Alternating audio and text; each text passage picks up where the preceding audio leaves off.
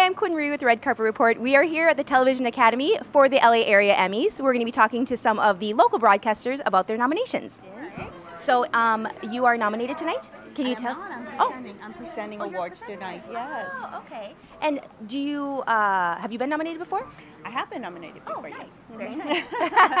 so, um, how did you get your start in uh, broadcasting? Oh my God, it was a long time ago, but um, I'm from Mexico originally, and so I started working in a, in a newscast down there, and eventually came up here. I thought I was going to be behind the scenes, and you know, things happened, and I ended up um, anchoring and reporting pretty soon thereafter. So And you came straight from Mexico to Los Angeles. I did. How long have you been in Los Angeles for? Almost 18 years now. Oh, so it's been a while. Yes, it has. Very nice. Mhm. So, what kind of advice do you have for up and coming, uh, like aspiring broadcast anchors?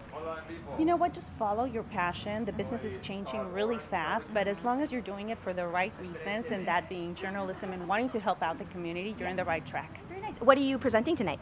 I'm presenting for Education Awards, uh, the best education uh, programming. Okay, awesome. Well, thank you so much. Have a great night. Thank you. You too.